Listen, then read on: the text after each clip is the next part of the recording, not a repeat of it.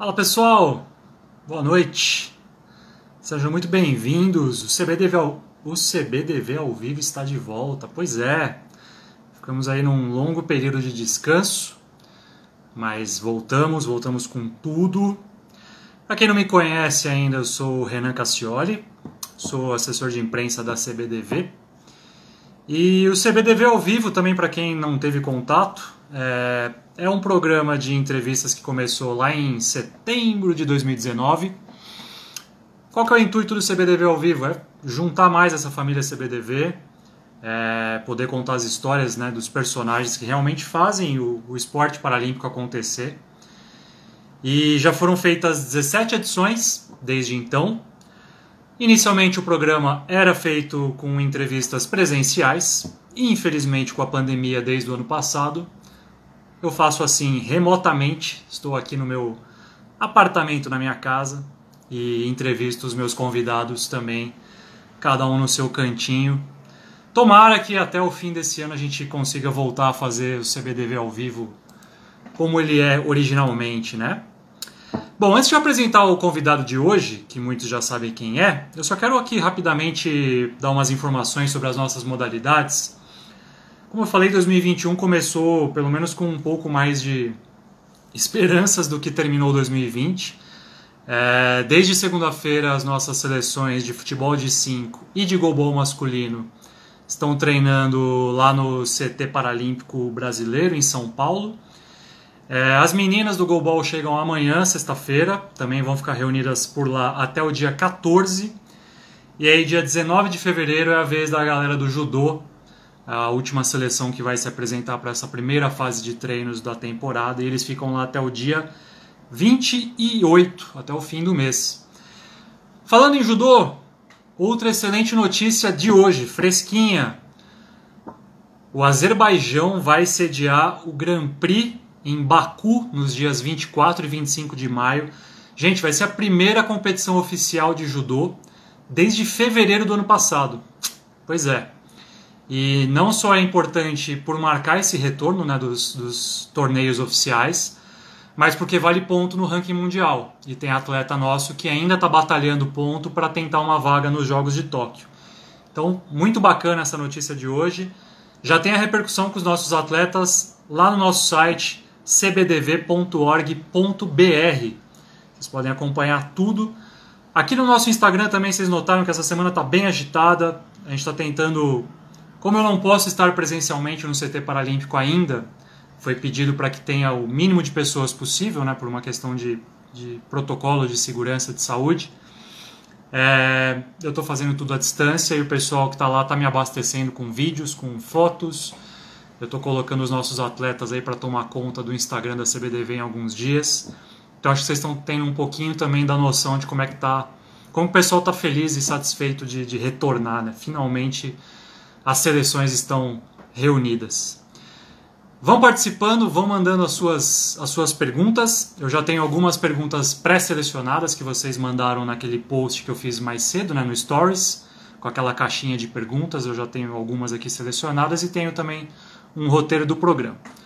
Chega de enrolação, vou aqui apresentar então o nosso convidado, que já deve estar aqui na nossa sala acompanhando essa minha falação maluca.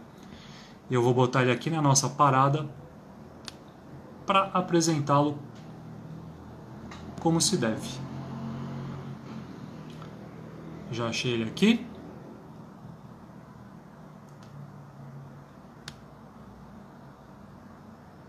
E assim que dividir a nossa tela, eu faço a devida apresentação desse personagem gigante da história do nosso goalball Estou aqui aguardando, acho que já vai dividir a tela.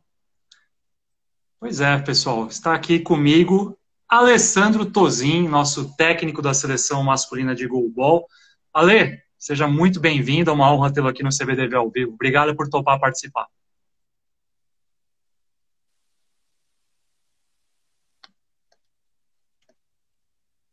Tozinho, acho que você está sem áudio. Teu áudio não está saindo.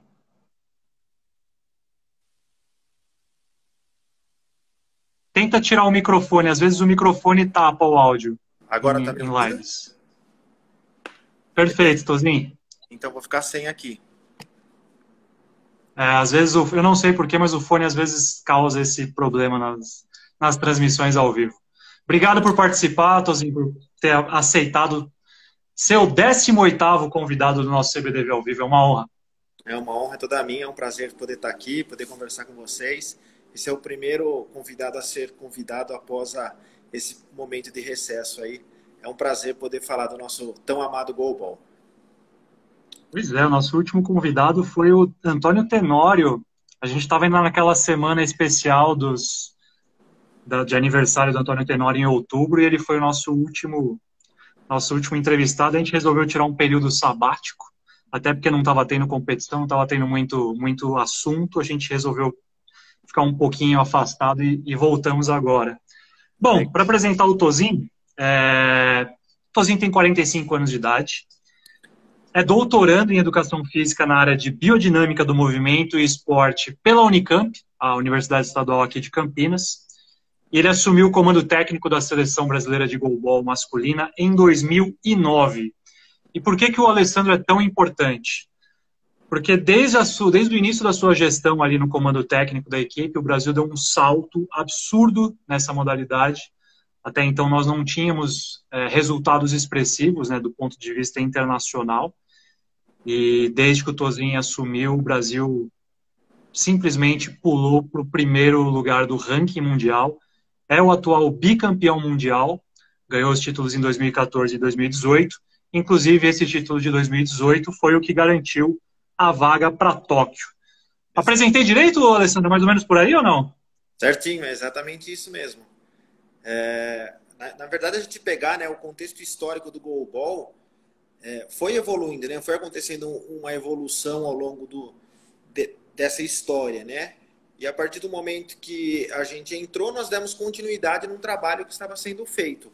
Claro que a gente começa a trabalhar com novas filosofias, começa a trabalhar com novas possibilidades aí de, de treinamento tático, isso faz com que a sua característica vá sendo incorporada numa seleção e isso vai fazendo com que ela vai ganhando a sua cara né, de trabalhar e com isso foi dando resultado e os títulos foram chegando gradativamente.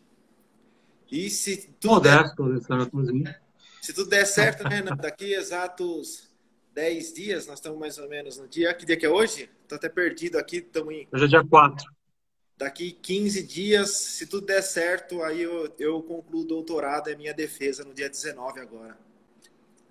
Cortou um pouquinho, você vai defender seu doutorado no dia 19, é isso? Dia 19 agora, é. Finalizo a, é, é o momento final com a banca lá. E muito legal porque é um estudo que está contribuindo com, com o goalball, né? Essa que é o principal objetivo do trabalho, é contribuir com o goalball em âmbito mundial aí. É isso, aliás, para quem também não está tão familiarizado com, com, o esporte paralímpico, é, isso é o que acontece bastante. O pessoal de comissão técnica costuma ser o pessoal também acadêmico, o pessoal que está trazendo as novidades de, de estudo é, e incrementando o que se tem de conhecimento teórico a respeito.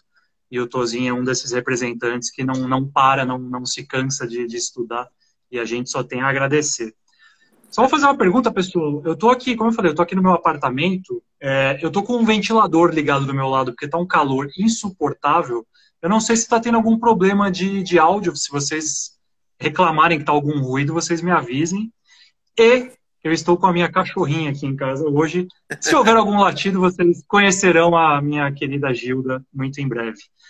Tozinho, você deve ter visto a minha introdução, que eu estava falando sobre o retorno das seleções Futebol de 5 e de goalball masculino já estão aí no CT, que é da onde você está falando agora. Uhum. E eu acho que a primeira pergunta não tem como fugir disso. É, eu queria saber das tuas primeiras impressões nesse retorno aos treinos. Falando um pouco, primeiramente, do ponto de vista técnico mesmo. O que, que você encontrou do teu grupo? Como é que os jogadores estavam tecnicamente? É, óbvio, tem a perda de ritmo de jogo natural, porque eles não tiveram como praticar a modalidade em si, só estavam fazendo atividades individuais ou atividades físicas, é, e o, quão, o quanto que isso impactou na prática os seus, os seus rapazes. É, o primeiro ponto importante, né, Renan, é a alegria de nós estarmos reunidos e treinando. Acho que isso é, é, é uma alegria no, no, coração de todos nós que estamos aqui, né? E acho que acredito de todas as modalidades que estão aqui tendo essa possibilidade de treinar. Isso é muito gostoso. Um ponto importante foi que o nosso grupo, nós passamos por dois momentos, né? Um momento dos atletas que, que só fizeram treinamento remoto, que num primeiro momento a proposta foi a gente, todas as quartas-feiras, às quatro horas, nós tínhamos um treinamento remoto. Então, eu puxava o treino, um treinamento que associava questões físicas, funcionais, junto com o treinamento técnico do goalball. Então, no primeiro momento, foi, foram todo, to, todo mundo junto.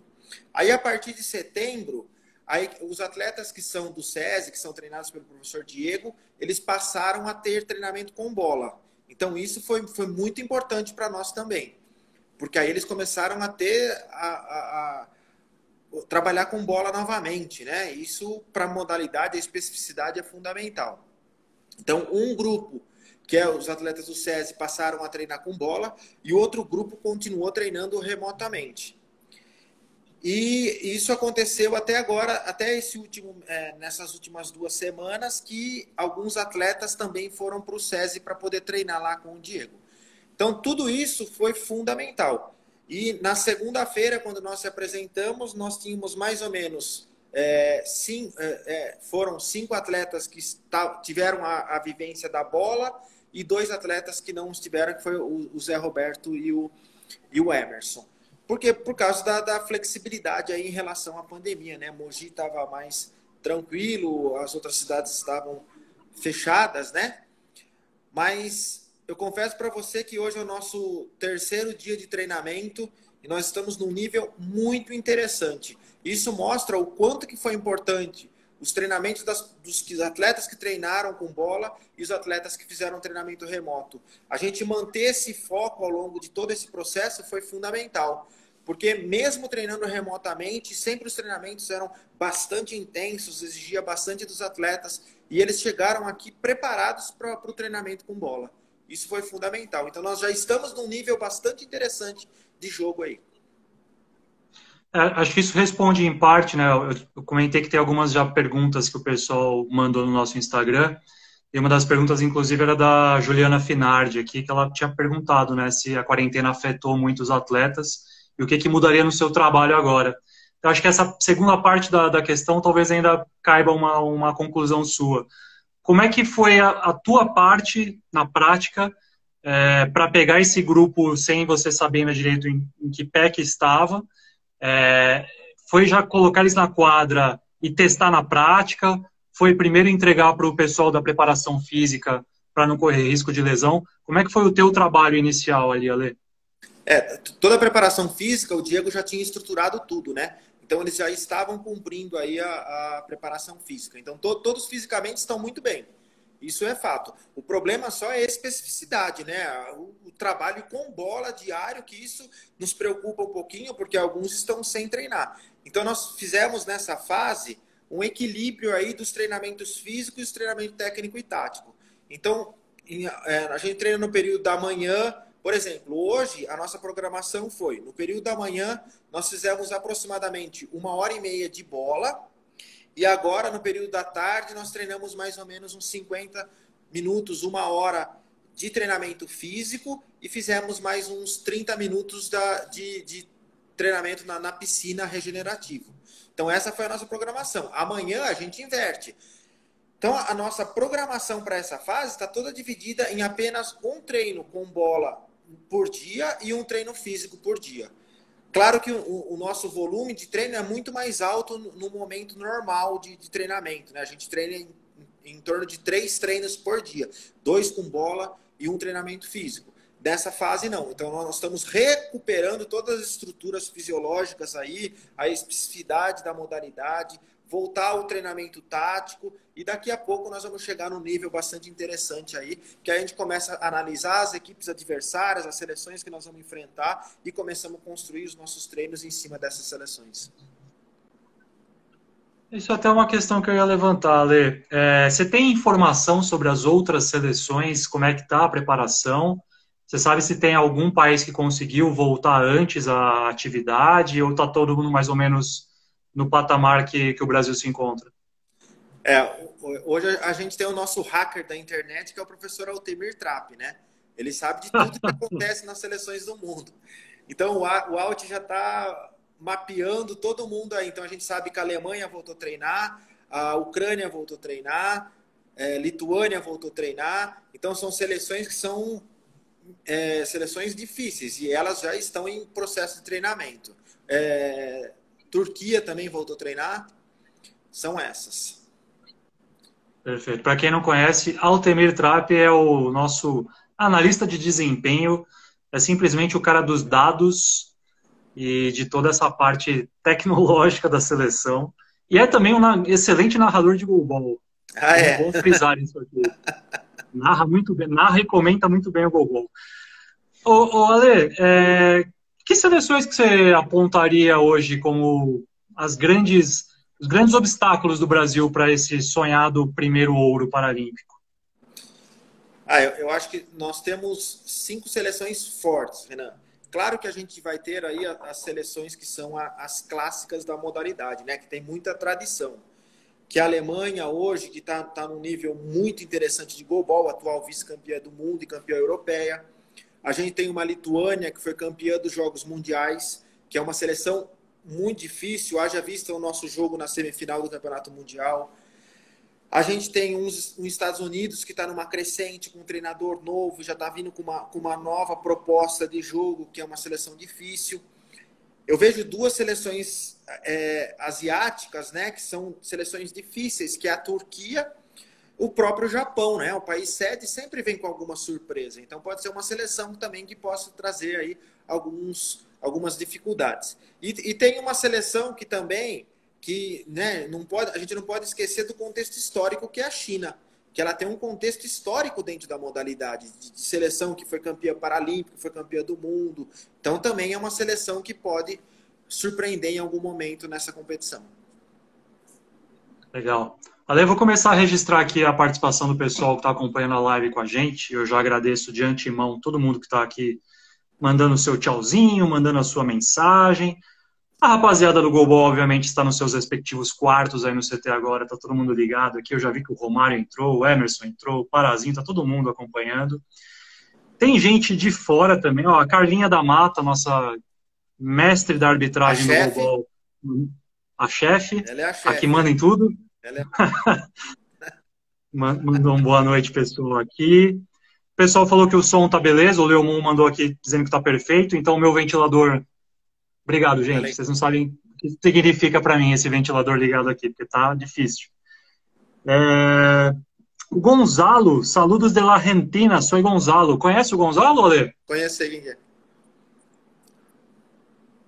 Tem um, tem um colombiano também, ó. O Omer Penagos. Olá, um saludo desde Colômbia, jogador de global. Ah. Bacana, pessoal. pessoal já tá também de olho, viu, Ale? Vou te falar que uma das perguntas que eu tinha selecionado também uhum. é do seu amigo Francisco Rei Patron, lá do Golbol da Argentina. Sei. A pergunta que é interessante, eu estou aqui brincando, obviamente, se o, se o Francisco estiver assistindo, é uma brincadeira, tá, Francisco? Ele perguntou se vai ter algum jogador novo aí para Tóquio em relação ao grupo que foi para Lima em 2019. Você tem alguma, alguma novidade no seu plantel? É, nós estamos trabalhando com o conceito de sete atletas, né, Renan? Nós temos os seis que foram para Lima, e o Ivanilson, que está aqui do meu lado, deitado, dormindo aqui. É... e, o, e o som que está que está também junto com a seleção. É, o que eu falo, nós temos sete atletas, sete atletas com muito talento. Todos são muito talentosos, tem, sabem jogar golbol de primeira linha, são atletas extremamente experientes. E o que, o que a gente precisa só, que para você disputar uma Paralimpíada, não é só você é, é, estar na seleção, você precisa se enquadrar dentro dos critérios da competição, que é a classificação funcional. Então, nós temos seis atletas que estão dentro da classificação, tudo bonitinho. O som, nós estamos tentando ver alguma competição, né, se tiver alguma competição, para poder classificá-lo, para estar elegível para a competição. O único empecilho do som, por enquanto, é isso. Mas se aparecer alguma competição e essa competição tiver classificação, nós vamos levá-lo. Olê, vou aproveitar seu, toda a sua experiência também teórica. Explica para quem não conhece o goalball, o que, que é essa classificação funcional e pegando esse caso do som como, como exemplo, por, por gentileza. É, é, o, o, no nosso caso, é classificação esportiva mesmo, né? É, para o goalball, existem três classes, o B1, B2 e B3, que é o B de blind, né, de cego. Então, o B1 é o cara que é o, o cego. Ele é, é, só tem percepção luminosa. O que, que é percepção luminosa, por exemplo? Se a gente fechar o olho, eu apagar a luz e acender, a gente vai entender que, que clareou e escureceu, né? Isso é percepção luminosa. O B2 é o cara que tem a acuidade visual de dois, é, até 2 metros a partir do momento, se, se ele enxergar o, o, o a, a, a, formato da mão na frente do rosto, até 2 metros. Mas aí ele tem todo o problema de nitidez. E campo visual, que é essa visão lateral aqui, até 5 graus. Ou seja, só para a gente ter noção disso, se a gente fechar a mão e enxergar no vãozinho ali, é mais ou menos 5 graus, é bem pouco, né? E o B3 é o que enxerga de 2 a 6 metros. Ou seja, é o cara que mais enxerga, mas também vai ter todo o problema de nitidez. Se o atleta enxergar mais do que 6 metros, ele não se enquadra para o esporte para cegos. Ele tem que enxergar menos do que 6 metros. E como que é feito isso? Pelos exames que são utilizados aí pela oftalmologia, que é o exame de campo visual lateral e o campo de acuidade visual, que é enxergar para frente. Se ele se enquadrar nesses critérios, ele faz parte do esporte para cegos. E, e, isso é interessante, né, Renan? Porque muitas vezes tem aquele pessoa, aquela pessoa que fica lineborn, né? Que é o cara que está no limite. Então, muitas vezes, as pessoas falam assim, ai, por que, que não convoca tal atleta? Ele é tão bom. Porque a gente sabe que o atleta está no limite. A gente não pode correr o risco de investir num atleta que está no limite. A gente não sabe, leva ele para uma competição internacional e ele é inelegível para a modalidade. E já aconteceu com é, isso, é, isso é bem comum né, no, no esporte para cegos. A, a, mudança de classificação às vezes acontece. O atleta era B2 ou B3 e de repente já não se enquadra mais. Ou no futebol de 5, por exemplo, que só permite a participação de atletas B1, de cegos totais. O atleta passa para o B2, ele já não pode mais competir no futebol de 5, ele tem que ir para o futebol. Existe uma modalidade chamada futebol B2, B3, que é justamente para abraçar é, quem não, não pode participar do B1. Então é importantíssima essa explicação que o, que o Ale deu, até para as pessoas que não estão familiarizadas com, com o esporte para deficientes visuais compreenderem.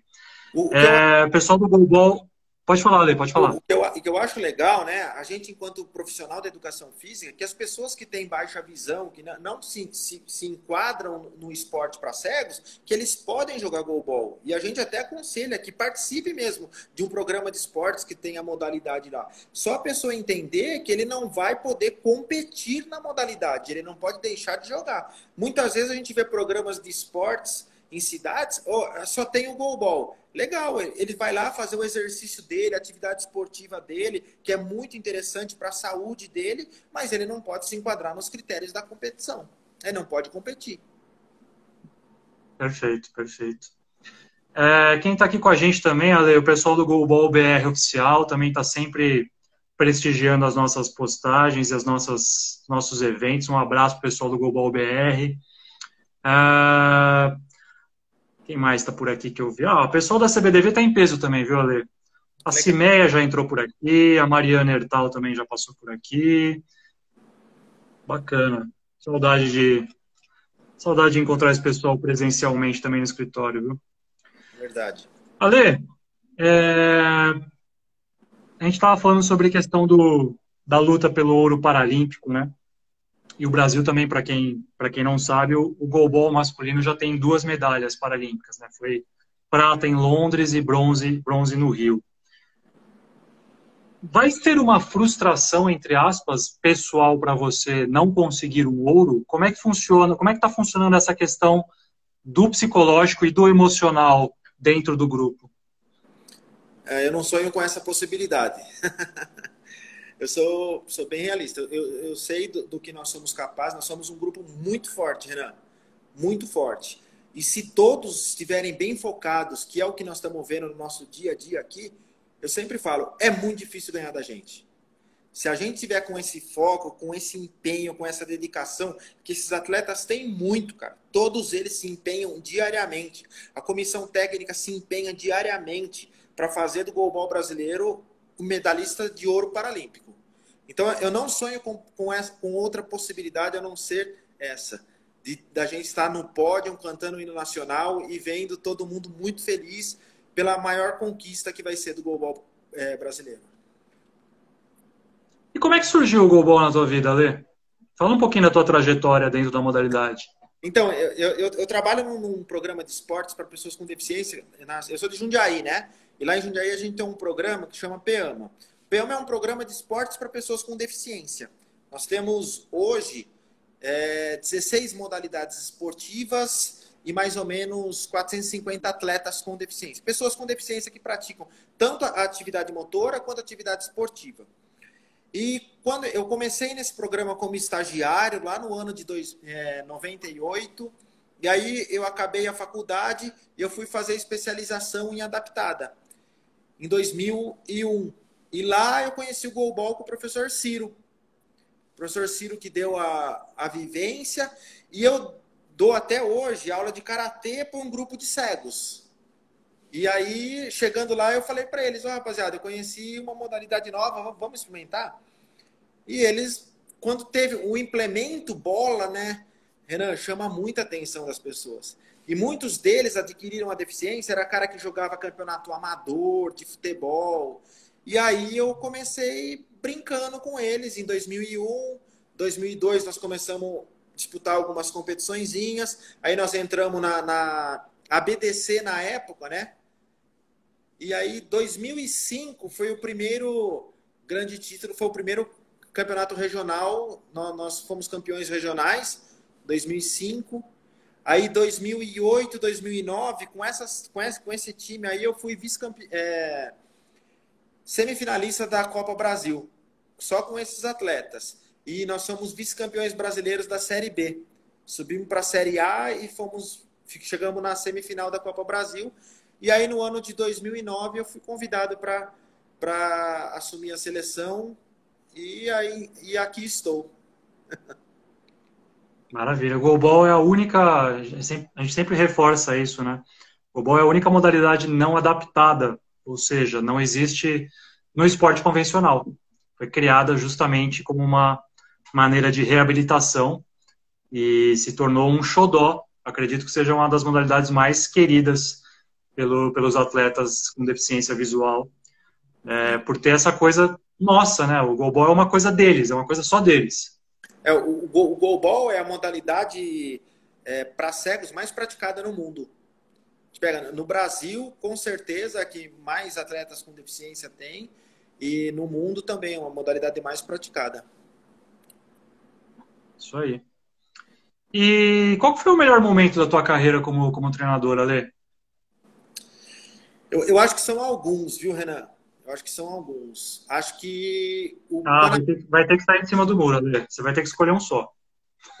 Tô brincando. Um Pode falar os vários momentos. eu acho que a primeira medalha de ouro, que foi em Guadalajara 2011, ali aquele momento foi muito especial, porque era uma vaga para a Paralimpíada de Londres, e estava Brasil, Estados Unidos e Canadá brigando por ela, e nós ganhamos. Então, aquele momento foi maravilhoso. Acho que a conquista da medalha de prata nos Jogos Paralímpicos de Londres foi um momento mágico, maravilhoso. O primeiro título mundial também foi. E, e acho que o, o, o, o, segundo título mundial também foi, foi muito bacana pela semifinal, né? A semifinal foi, foi sensacional, foi um jogo maravilhoso. Você sempre cita esse jogo da semifinal, né, Lê? É. Engraçado, assim, deve ter sido um jogo que realmente te marcou muito. Fala um pouquinho dessa partida para o pessoal entender essa, esse teu sentimento em relação a esse jogo. Então, você sabe que quando começou o jogo, eu, eu com o Diego conversando, nós falamos, putz, nós vamos matar o jogo, porque acho que nós abrimos 4 a 1 5 a 1 alguma coisa assim, né? 4 a 1 E aí, uh, a gente tava atropelando. E de repente nós caímos e eles cresceram e viraram o jogo. Então, faltando poucos minutos ali para acabar o jogo, acho que eram coisa de 30 segundos, eles estavam ganhando. E aí eu parei o jogo, eu solicitei uma bola para o Leomon, o Leomon executou e fez o gol, foi um momento maravilhoso. E aí o Golden Goal, né, meu? O Golden Goal é loteria. E aí o Leomon foi lá, encaixou de novo o gol e nós ganhamos. E, e, é muito legal porque faz alguns anos né, que a, a, gente tem um confronto, uma certa rivalidade com a Lituânia. É um time muito forte, um time muito experiente. E em alguns anos nós estamos conseguindo ganhar deles aí. E, e sempre é jogo duro. Pode ter certeza. Jogar com a Lituânia são duas seleções de altíssimo nível. Como a Alemanha hoje também é uma, uma seleção de altíssimo nível, né? Mas com a Lituânia parece que tem algo a mais. E aqui na América, a gente sabe, né? A rivalidade com os Estados Unidos também é muito forte aqui na América.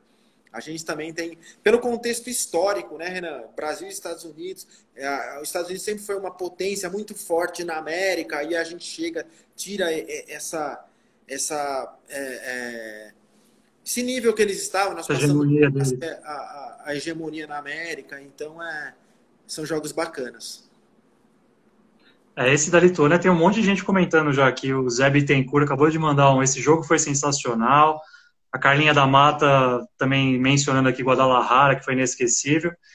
E o Leomon fez um elogio ao jogo contra a Lituânia que eu, infelizmente, não posso reproduzir, porque ele usou um palavrão aqui, mas. Deu para perceber que você foi importante nessa partida também, Leomon. Então eu, eu imagino que o que tenha passado pela tua cabeça, principalmente na hora que você fez esse gol do empate, né? Eu, essa questão do, do, dos segundos finais, né, Ale? Eu acho que, assim, eu estou trabalhando como assessor da CBDV faz pouco mais de um ano e meio.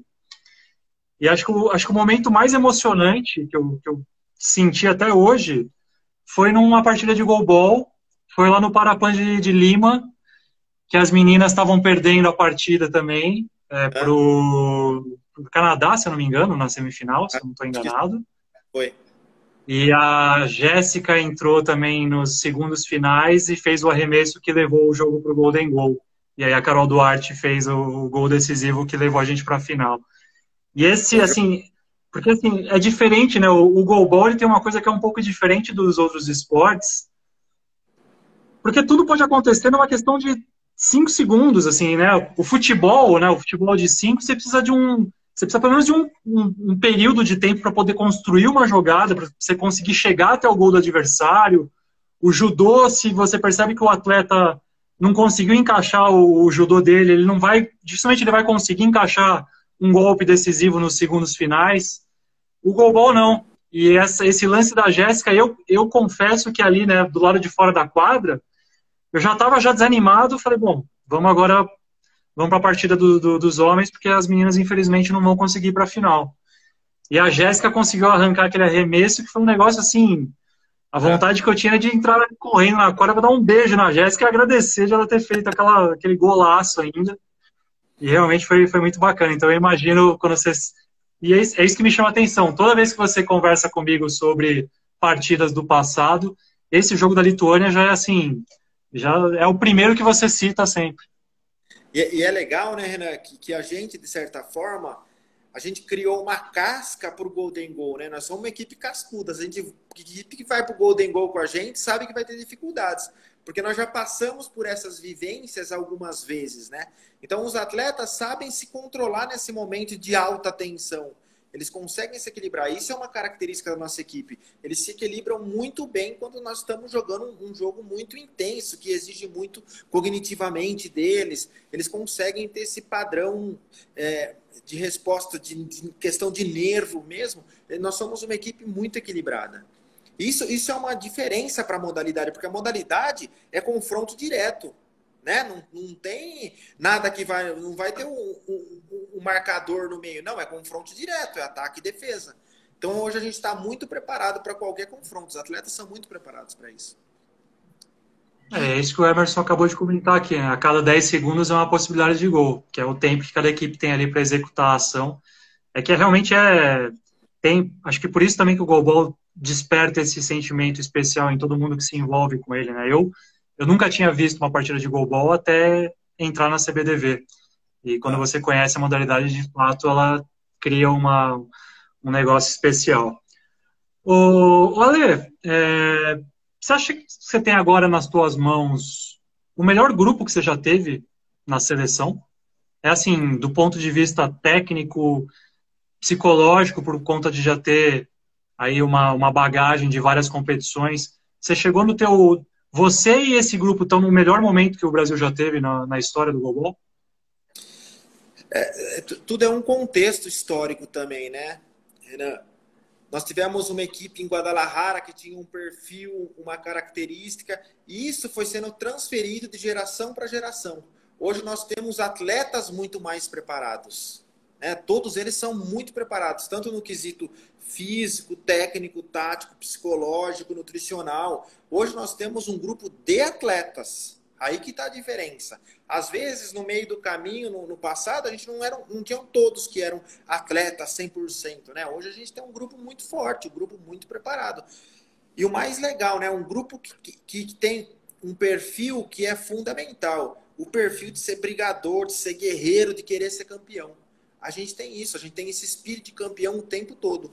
Tanto que nos nossos treinos, no dia a dia, é confronto direto o tempo todo. Um quer ganhar do outro. Eles são muito competitivos. E para você atingir esses estágios mais altos do nível competitivo, que é uma Paralimpíada, no Campeonato Mundial, precisa disso. Precisa de atletas extremamente competitivos. E é o que eles são hoje, são extremamente competitivos. Além, né, Renan? A gente tem, tem que ressaltar também, né? Nós temos sete talentos nato para o Global. Os caras são muito talentosos, todos eles, cara, são muito bons. Então a gente não pode, né? Não adianta só querer ganhar, mas você tem que ter o talento em mãos. E eles são muito talentosos. Eles são, a gente costuma brincar que esses caras são fenômenos. Verdade. Eu te perguntei do melhor momento, o Ale, e qual que foi o pior? Ah, o pior momento, sem dúvida alguma, foi no Jogos Mundiais de 2011.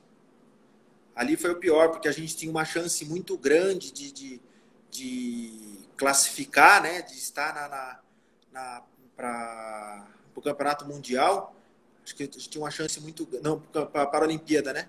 Para a Paralimpíada a gente tinha uma chance muito grande e não conseguimos. Acho que esse foi o pior. Foi anterior a Guadalajara. É, aí, aí foi, tivemos que conquistar em Guadalajara, não teve jeito. Foi isso aí.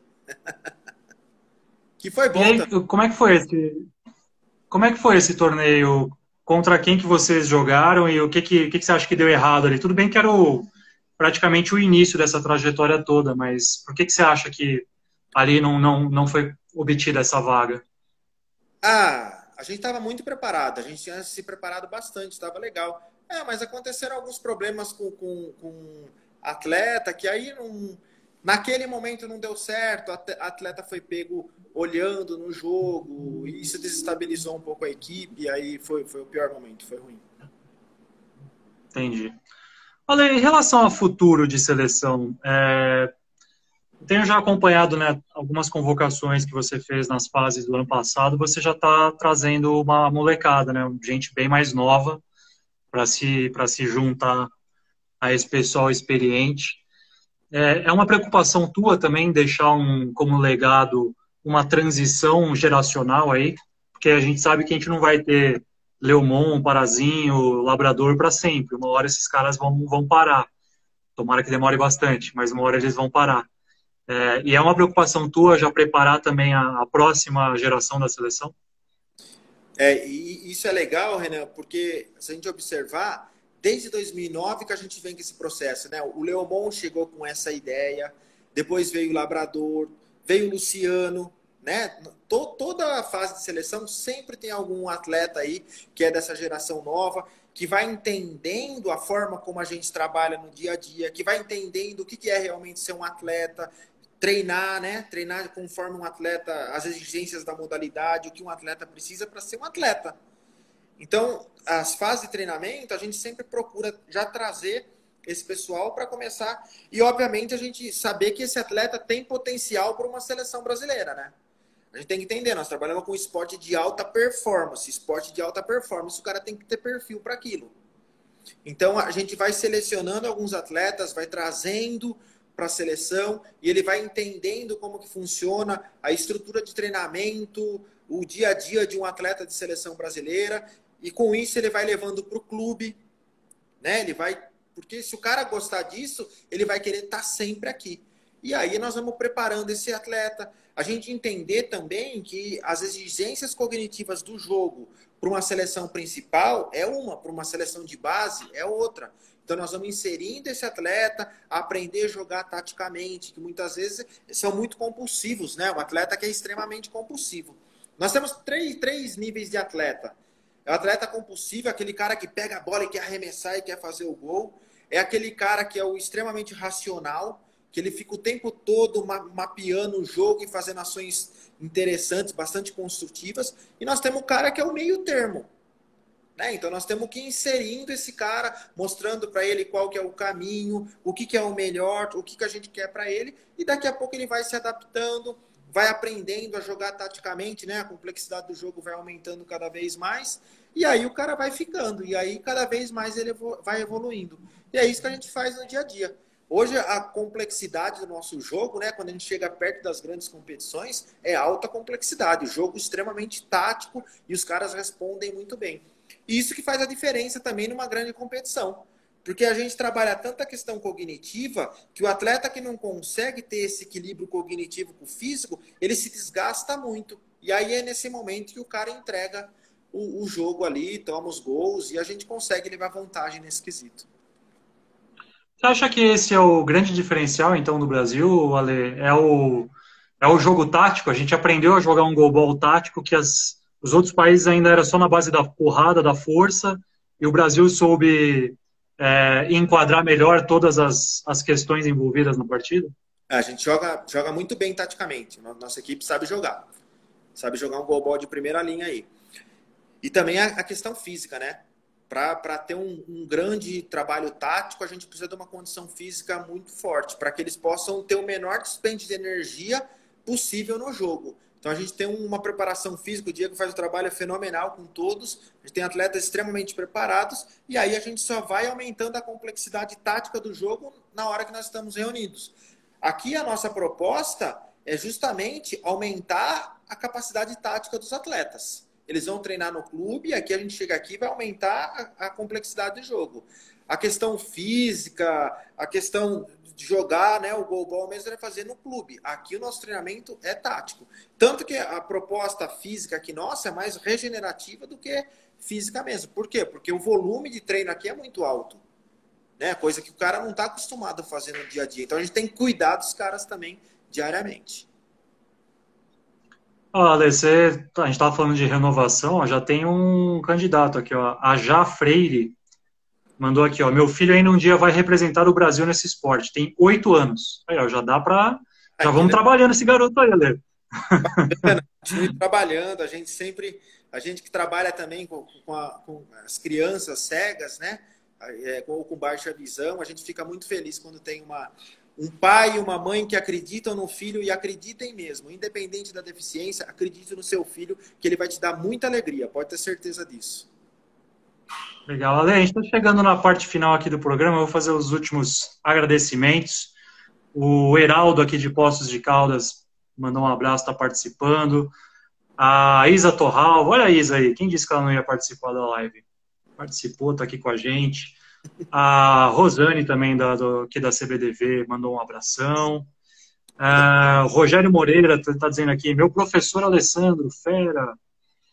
Uh, quem mais? Quem mais? O Dan Martins mandou um parabéns, professor, você é fera. Obrigado. Muito legal, gente. Bacana contar com, essa, com esse apoio de vocês, com essa participação após o nosso jejum de CBDV ao vivo. A Elora Lima também mandou um aqui, eles são feras demais, esse time é fera. É verdade, muito fera. Esse time eu sou fã de carteirinha. E sou fãzaço do Ale também, que além de tudo virou um, um parceiro, um grande amigo meu. Ale, queria te agradecer de novo. É muito bacana poder conhecer um pouco mais de história de Global e, e relembrar esses, esses fatos. E mais do que ficar aqui falando sobre o passado, Acho que é sempre muito bacana em você, eu, eu analiso e vejo isso não só em quem está no topo do comando técnico, mas no out, todo o pessoal que está envolvido na comissão técnica, vocês estão sempre ali, ó, focando o que está vindo pela frente.